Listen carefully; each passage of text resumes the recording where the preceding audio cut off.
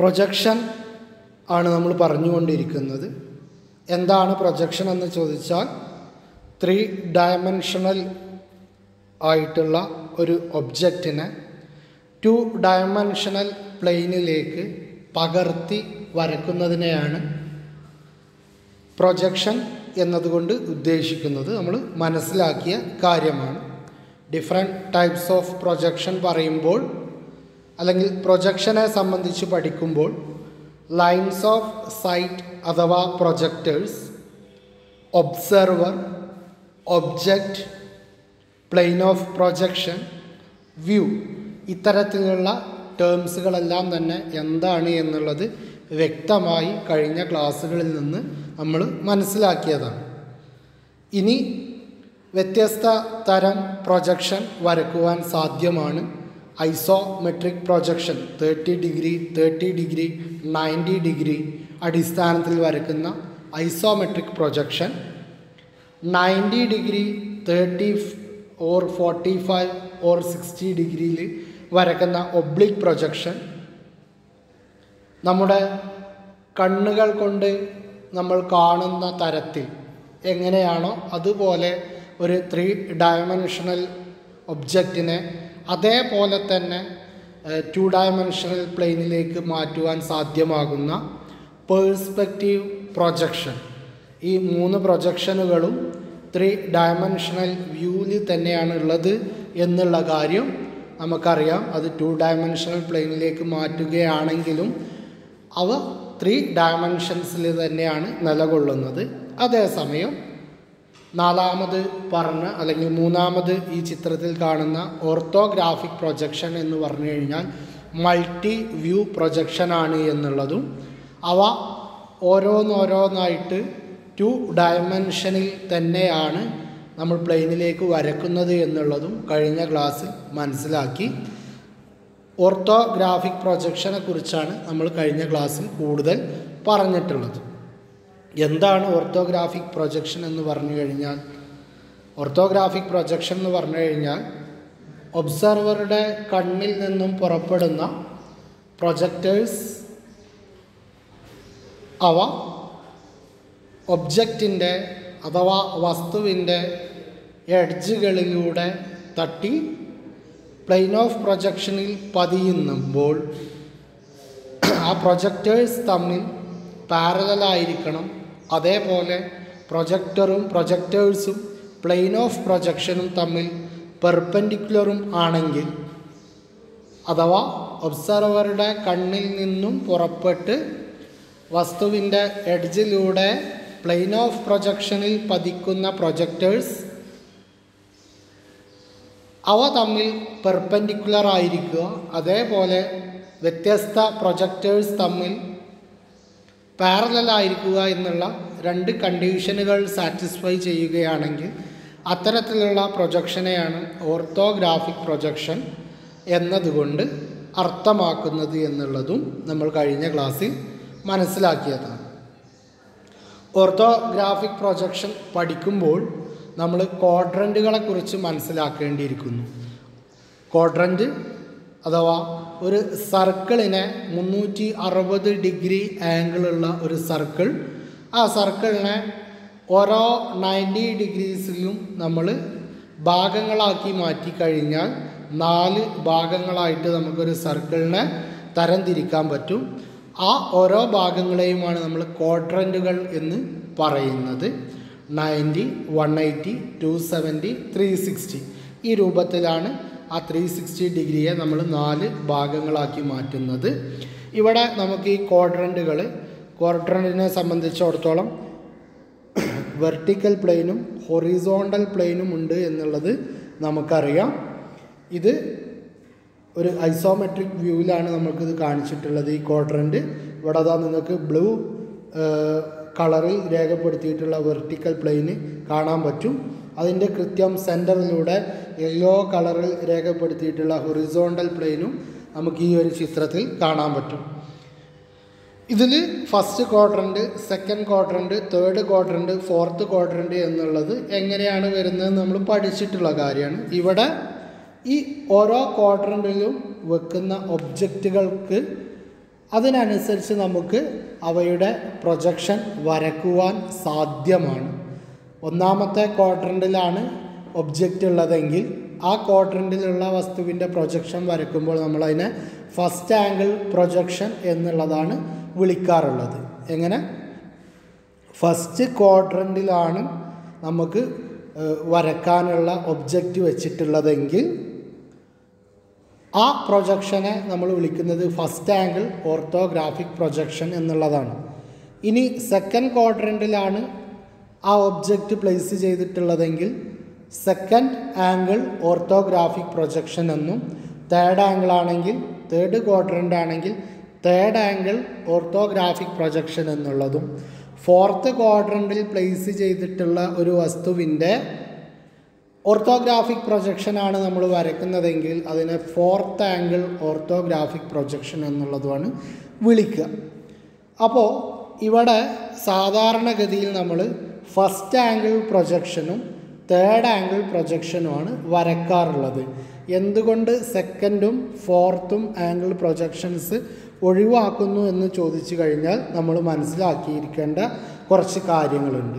ഇപ്പോൾ ഇതൊരു quadrant quadrant ഇവിടെ ഉണ്ട് ഇത് വെർട്ടിക്കൽ പ്ലെയിനാണ് ഈ തരത്ത് താഴേക്ക് വരുന്നത്. ഈ രൂപത്തിലുള്ള ഹൊറിസോണ്ടൽ പ്ലെയിനുമാണ് ഇവിടെ ഈ ഹൊറിസോണ്ടൽ പ്ലെയിനിനെ സംബന്ധിച്ചിടത്തോളം അത് അല്ല വെർട്ടിക്കൽ പ്ലെയിനിനെ സംബന്ധിച്ചിടത്തോളം വെർട്ടിക്കൽ പ്ലെയിൻ എന്ന് പറയുന്നത് ആ വെർട്ടിക്കലായിട്ട് നിൽക്കാൻ പറ്റുന്നല്ലാതെ അതിന് യാതൊരു തരത്തിലുള്ള മൂമെൻസും ചലനവും സാധ്യമല്ല. അത് അങ്ങനെ തന്നെ വെർട്ടിക്കലായിട്ട് നിലകൊള്ളുകയാണ് ചെയ്യുക.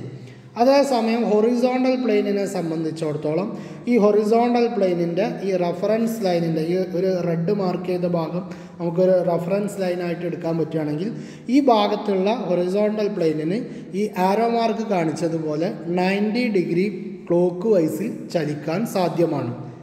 മനസ്സിലാകുന്നുണ്ട് അതായത് ഈ ഒരു ഭാഗത്തുള്ള ഈ ഒരു ഹൊറിസോണ്ടൽ പ്ലെയിന് തൊണ്ണൂറ് ഡിഗ്രി താഴേക്ക് വരും എന്ന് പറഞ്ഞു കഴിഞ്ഞാൽ ഈ വെർട്ടിക്കൽ പ്ലെയിനിന് പാരലായിട്ട് അതിന് നിലകൊള്ളാൻ പറ്റും അതിന്റെ മുകളിൽ തന്നെ നില നിലകൊള്ളാൻ എന്തിന് സാധ്യമാണ്? ഹൊറിസോണ്ടൽ പ്ലെയിനിനെ സംബന്ധിച്ചിടത്തോളം സാധ്യമാണ്. ഇനി ഇതിന്റെ പുറകിലുള്ള ഹൊറിസോണ്ടൽ പ്ലെയിനിന്റെ ഈ ഭാഗം ഇതിന് നയന്റി ഡിഗ്രി ആരോ കാണിച്ചതുപോലെ നയന്റി ഡിഗ്രി ക്ലോക്ക് വൈസ് ആകുമ്പോൾ മുകളിലേക്ക് ഇതിന് സഞ്ചരിക്കുവാൻ സാധ്യമാണ്. അല്ലെങ്കിൽ നമുക്ക് ആ ഒരു ക്വാഡ്രന്റിന്റെ നമുക്ക് മടക്കാൻ സാധ്യമാണ് എന്നുള്ള കാര്യം ഓർത്തു വെക്കുക. ഓക്കെ അതുകൊണ്ട് തന്നെ സെക്കൻഡ് ക്വാഡ്രന്റിലോ ഫോർത്ത് ക്വാഡ്രന്റിലോ ഒരു വസ്തു വെച്ച് കഴിഞ്ഞാൽ ആ വസ്തുവിന്റെ വെർട്ടിക്കൽ ഫസ്റ്റ് ഫ്രണ്ട് വ്യൂവും ടോപ്പ് വ്യൂവും അതൊക്കെ എന്താണെന്നുള്ളത് നമ്മൾ വ്യക്തമായിട്ട് ഇപ്പോൾ തന്നെ പഠിക്കുന്നുണ്ട്. തൽക്കാലം ഈ പറയുന്ന വേർഡുകൾ ഓർത്തു വെക്കുക. ഫ്രണ്ട് വ്യൂവും ടോപ്പ് വ്യൂവും ഒരേ പ്ലെയിനിൽ തന്നെ വരും. ഏതിൽ സെക്കൻഡിലും ഫോർത്തിലും ആകുമ്പോൾ എന്തുകൊണ്ട് ഹൊറിസോണ്ടൽ പ്ലെയിനിന് നയന്റി ഡിഗ്രി ചലന ഉള്ളതുകൊണ്ട് തന്നെ മൂവ്മെന്റ് ഉള്ളതുകൊണ്ട് തന്നെ സെക്കൻഡ് ക്വാർട്ടറിലും ഫോർത്ത് ക്വാർട്ടറിലും പ്ലേസ് ചെയ്യുന്ന ഒബ്ജക്റ്റിന്റെ വ്യൂസ് നമ്മൾ കാണുമ്പോൾ ഫ്രണ്ട് വ്യൂവും ടോപ്പ് വ്യൂവും ഒരേ പ്ലെയിനിൽ തന്നെ വരുന്നത് കൊണ്ടാണ് എന്ത് ചെയ്യാത്തത്? സെക്കൻഡ് ആംഗിൾ പ്രൊജക്ഷനും ഫോർത്ത് ആംഗിൾ പ്രൊജക്ഷനും നമ്മൾ വരക്കാത്തത് എന്നുള്ള കാര്യം ഓർത്തു വെക്കുക. എന്താണ് കാരണം? സെക്കൻഡ് ആംഗിൾ പ്രൊജക്ഷനിലും ഫോർത്ത് ആംഗിൾ പ്രൊജക്ഷനിലും നമ്മൾ വരക്കുന്ന പ്രൊജക്ഷൻ വരക്കുമ്പോൾ ഫ്രണ്ട് വ്യൂവും ടോപ്പ് വ്യൂവും ഒരേ പ്ലെയിനിൽ തന്നെ വരും. അത് അതുകൊണ്ട് നമുക്ക് രണ്ടും കൂടി ഒരേ പ്ലെയിനിൽ തന്നെ വരക്കാൻ സാധ്യമല്ലാത്തത് കൊണ്ടാണ് സെക്കൻഡ് ആംഗിൾ പ്രൊജക്ഷനും ഫോർത്ത് ആംഗിൾ പ്രൊജക്ഷനും നമുക്ക് വരക്കാൻ സാധ്യമല്ലാത്തത്. പകരം നമ്മൾ ഫസ്റ്റ് ആംഗിളും ഫോ തേർഡ് ആംഗിളും പ്രൊജക്ഷൻസാണ് നമ്മൾ വരക്കുക അപ്പോൾ എന്താണ് ഫസ്റ്റ് ആംഗിൾ പ്രൊജക്ഷൻ അല്ലെങ്കിൽ തേർഡ് ആംഗിൾ പ്രൊജക്ഷൻ എന്ന് പറഞ്ഞു കഴിഞ്ഞാൽ ഫസ്റ്റ് ആംഗിൾ പ്രൊജക്ഷൻ എന്ന് പറഞ്ഞു കഴിഞ്ഞാൽ ഒരു വസ്തുവിനെ ഈ ഫസ്റ്റ് ക്വാഡ്രന്റിൽ വെച്ച് കഴിഞ്ഞിട്ട് അതിന്റെ പ്രൊജക്ഷൻ വരക്കുന്നതാണ് ഫസ്റ്റ് ആംഗിൾ പ്രൊജക്ഷൻ എന്ന് പറയുന്നത്. അതേസമയം തേർഡ് ക്വാഡ്രന്റിൽ പ്ലേസ് ചെയ്തിട്ടുള്ള ഒരു വസ്തുവിന്റെ പ്രൊജക്ഷനാണ് നമ്മൾ വരക്കുന്നതെങ്കിൽ അതിനെ തേർഡ് ആംഗിൾ പ്രൊജക്ഷൻ എന്നുള്ളതാണ് പറയുക. ഓക്കെ ഇനി നോക്കുക. ഡിഫറെന്റ് ടൈപ്സ് ഓഫ് വ്യൂസ് ആണ് നിങ്ങൾക്ക് ചിത്രത്തിൽ കാണാൻ പറ്റുന്നത്. ഇത് കൂടുതൽ വ്യക്തമായി മനസ്സിലാക്കുന്നതിന് വേണ്ടിയിട്ട് നമ്മൾ നമ്മുടെ ഒരു വീടിനെ സങ്കല്പിക്കുക നമ്മളെ വീടിനെ സംബന്ധിച്ചിടത്തോളം വീടിനൊരു മുന്നിന്ന് നമ്മൾ കയറി ചെല്ലുന്ന ഒരു ഭാഗമുണ്ട്. അടുക്കള നിൽക്കുന്ന ആ ഒരു പുറകിലെ വശമുണ്ട്. വലതുവശമുണ്ട് ഇടതുവശമുണ്ട് ഇത്തരത്തിൽ നാല് വശങ്ങളോട് കൂടിയിട്ടാണ് സാധാരണഗതിയിൽ നമ്മൾ വീടുകളൊക്കെ വെക്കാറുള്ളത് അല്ലേ? ഒരു ബിൽഡിംഗ് ഒക്കെ അങ്ങനെയാണ് ഉണ്ടാകാറുള്ളത്. ആ ബിൽഡിങ്ങിന്റെ നാല് വശങ്ങളിലും അതായത് മുന്നിലായിട്ടും പിന്നിലായിട്ടും വലതുവശത്തായിട്ടും ഇടതുവശത്തായിട്ടും നാലാളുകൾ നിന്നിട്ട് ആ വീടിനെ ആ വീടിനെ നോക്കിക്കാണുകയാണെന്ന് വിചാരിക്കുക. ആ നോക്കിക്കാണുന്ന ഭാഗങ്ങൾ മാത്രമായിട്ട് അവരോടൊരു ചിത്രത്തിലേക്ക് വരക്കാൻ പറഞ്ഞ് ഒരു പേപ്പറിലേക്ക് വരക്കാൻ പറഞ്ഞു കഴിഞ്ഞാൽ അവർ വരക്കുന്നത് അവരാ നോക്കിക്കാണുന്ന ഭാഗങ്ങൾ മാത്രമായിരിക്കും അല്ലേ?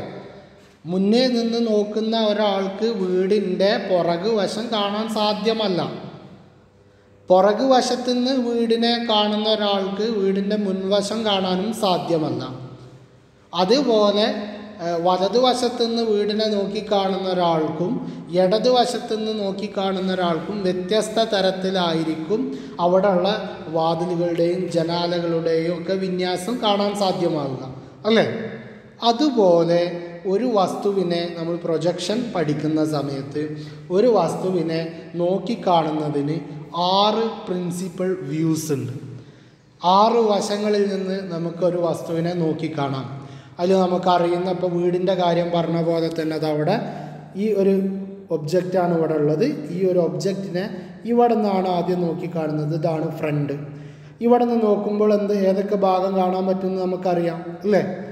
ഈ ഒരു ഭാഗമൊന്നും കാണാൻ കഴിയില്ല. കാരണം എന്താ? ഫ്രണ്ടിൽ നിന്ന് നോക്കുമ്പോൾ ഈ ഒരു എൽ ഷേപ്പും ഈ ഒരു ചതുരവും ഇതിനകത്ത് വരുന്ന ഒരു ചതുരവും മാത്രമാണ് കാണാൻ പറ്റുക.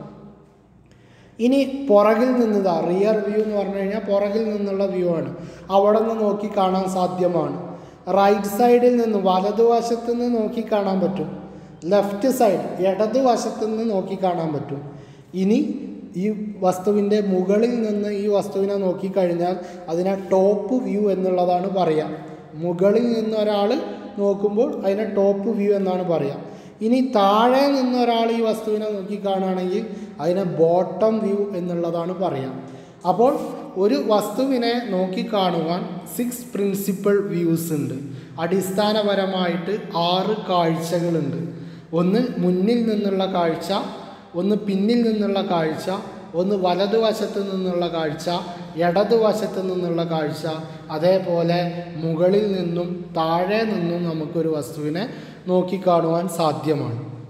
നമ്മളൊരു വീടിനെ സംബന്ധിച്ച് പറയുമ്പോൾ നമ്മൾ ടോപ്പ് വ്യൂ നോക്കാറുണ്ട്. എപ്പോൾ എപ്പോൾ ഒരു വീടിനെ സംബന്ധിച്ച് നമ്മളൊരു വീടിനെ കുറിച്ച് ആലോചന വരുമ്പോൾ നമ്മൾ ആദ്യം എൻജിനീയേഴ്സിനെ ആയിട്ട് കൺസൾട്ട് ചെയ്ത് കഴിഞ്ഞാൽ അവർ നമുക്ക് തരുന്നത് ഒരു ചിത്രം പ്ലാൻ എന്ന് പറഞ്ഞുകൊണ്ട് തരാറുണ്ട്. എന്താണ് പ്ലാൻ എന്ന് പറയുന്നത്? പ്ലാൻ എന്ന് പറഞ്ഞു കഴിഞ്ഞാൽ ആ വീടിന്റെ തറ ഇട്ട് കഴിഞ്ഞ് ചുമരെല്ലാം വന്നു കഴിഞ്ഞാൽ റൂഫൊന്നുമില്ല. അതായത് മേൽക്കൂര വരുന്നതിന് മുമ്പായിട്ട് ഒരു വീടിന്റെ തറ പണി കഴിഞ്ഞ് അതിന്റെ മുകളിൽ ചുമര് കെട്ടിയുണ്ടാക്കി. ചുമര് കെട്ടിയുണ്ടാക്കുമ്പോൾ അവിടെ വാതിലും ജനലും ഒക്കെ പ്ലേസ് ചെയ്തു എന്ന് വിചാരിക്കുക. മനസ്സിലാകുന്നുണ്ടോ എന്നിട്ട് മുകളിൽ എന്ത് ചെയ്തിട്ടില്ല? അതിന്റെ മേൽക്കൂര ഉണ്ടാക്കിയിട്ടില്ല. ഈ രൂപത്തിലുള്ള ഒരു വീടിനെ മുകളിൽ നിന്ന് ഒരാൾ നോക്കിക്കാണുന്നു എന്ന് വിചാരിക്കുക. ഇപ്പോൾ പറഞ്ഞല്ലോ ഒരു വസ്തുവിനെ മുകളിൽ നിന്ന് നോക്കി കാണാമല്ലോ മുകളിൽ നിന്ന് ഒരാൾ നോക്കുമ്പോൾ കാണുന്നത് എന്താണോ ആ കാണുന്ന രൂപമാണ് അവരെന്ത് ചെയ്യുക? നമുക്ക് പ്ലാൻ എന്ന് പറഞ്ഞിട്ട് സമർപ്പിക്കുന്നത്. പ്ലാൻ എന്ന് പറഞ്ഞു കഴിഞ്ഞാൽ ടോപ്പ് വ്യൂ എന്നുള്ളതിന്റെ മറ്റൊരു പേരാണ് പ്ലാൻ എന്ന് പറയുന്നത്. മനസ്സിലാകുന്നുണ്ടോ? ഇപ്പോൾ നമ്മളൊരു വീടുണ്ടാക്കുന്നതിന് വേണ്ടിയിട്ട് എൻജിനീയേഴ്സിനെ സമീപിച്ച് കഴിഞ്ഞാൽ അവർ നമുക്ക് പ്ലാനും തരും കൂടെ തന്നെ എലിവേഷനും തരും. പ്ലാൻ എന്ന് പറഞ്ഞു കഴിഞ്ഞാൽ മുകളിൽ നിന്ന് ആ വീടിനെ നോക്കി കാണുമ്പോൾ എങ്ങനെയാണോ വരിക. ഏത് ഭാഗത്തൊക്കെയാണ് ചുമരുണ്ടാകുക? ഏത് ഭാഗത്തേക്കാണ് ജനാല ജനൽ വരിക? ഏത് ഭാഗത്താണ് വാതിൽ വരിക? ഏത് ഭാഗത്താണ് വെന്റിലേറ്റർ വരിക? ഈ രൂപത്തിൽ നമുക്ക് ആ ഒരു ചിത്രത്തിലേക്ക് നോക്കുമ്പോൾ നമ്മുടെ വീടിന്റെ യഥാർത്ഥ പിക്ചർ നമുക്ക് കിട്ടുന്നതിന് വേണ്ടിയിട്ടാണ് പ്ലാൻ അഥവാ ടോപ്പ് വ്യൂ സമർപ്പിക്കുന്നത്. അതുപോലെ തന്നെ ഇപ്പോൾ കാണുന്നതാണ് എന്ത്? നമ്മുടെ വീടിന്റെ മുൻഭാഗവും അവരെന്ത് തരാറുണ്ട്? വീടിന്റെ എല്ലാ പണികളും കഴിഞ്ഞാൽ വീടിന്റെ മുൻഭാഗം എങ്ങനെ ഉണ്ടാകും? മുന്നിന്ന് നോക്കി കഴിയുമ്പോൾ എങ്ങനെ കാണും? എന്നുള്ളതും എൻജിനീയേഴ്സ് തരാറുണ്ട്. ഓട്ടോ ക്യാഡൊക്കെ ഉപയോഗിച്ച് വരച്ച്. ആ കാഴ്ച എന്ന് പറയുന്നതിന് നമ്മൾ അവർ പറയാ എലിവേഷൻ എന്നുള്ളതാണ്. എലിവേഷൻ എന്ന് പറഞ്ഞു കഴിഞ്ഞാൽ ഫ്രണ്ട് വ്യൂ മുന്നിൽ നിന്ന് കാണുന്ന വ്യൂ. മനസ്സിലാകുന്നുണ്ടോ? അപ്പോൾ നമ്മൾ ഓർത്തോഗ്രാഫിക് പ്രൊജക്ഷനാണ് പഠിക്കുന്നത്. First angle projection third angle projection എന്നുള്ള രൂപത്തിൽ നമുക്ക് പഠിക്കാനുണ്ട്. ഫസ്റ്റ് ക്വാഡ്രന്റിൽ ആണ് ഒബ്ജക്റ്റിനെ പ്ലേസ് ചെയ്തിട്ട് അതിനെ ഇത്തരത്തിൽ വ്യത്യസ്ത വശങ്ങളിൽ നിന്ന് നോക്കിക്കാണുമ്പോൾ കിട്ടുന്ന രൂപങ്ങൾ പ്രൊജക്റ്റ് പ്രൊജക് പ്രൊജക്ഷൻ അത് വരക്കുന്നതാണ് ഫസ്റ്റ് ആംഗിൾ പ്രൊജക്ഷൻ എങ്കിൽ തേർഡ് ക്വാഡ്രന്റിലുള്ള ഒരു ഒബ്ജക്റ്റിനെ ആ ഒബ്ജക്റ്റിന്റെ ഇത്തരത്തിലുള്ള ഓരോരോ വശങ്ങളിൽ നിന്നായി നോക്കുമ്പോൾ കാണുന്നത് പ്ലെയിൻ ഓഫ് പ്രൊജക്ഷനിൽ പതിഞ്ഞത് നമ്മൾ ഒരു ടു ഡയമെൻഷണൽ പ്ലെയിനിലേക്ക് മാറ്റി വരയ്ക്കുന്നതാണ് തേർഡ് ആംഗിൾ പ്രൊജക്ഷൻ എന്ന് പറയുന്നത്. ഓക്കെ ആ കാര്യമാണ് ഇനി നമുക്ക് പഠിക്കാനുള്ളത്. ഇന്ന് ഇത്രയും കാര്യങ്ങൾ മനസ്സിലാക്കുക. ഇനി ഈ ചാപ്റ്ററിലെ ഏറ്റവും ഇമ്പോർട്ടന്റ് ആയിട്ടുള്ള first angle projection third angle പ്രൊജക്ഷനാണ് നമുക്ക് അടുത്ത ക്ലാസ്സിൽ പഠിക്കാനുള്ളത്. അപ്പോൾ ഇന്നത്തെ കാര്യങ്ങൾ കൃത്യമായി മനസ്സിലാക്കുക. ഓക്കെ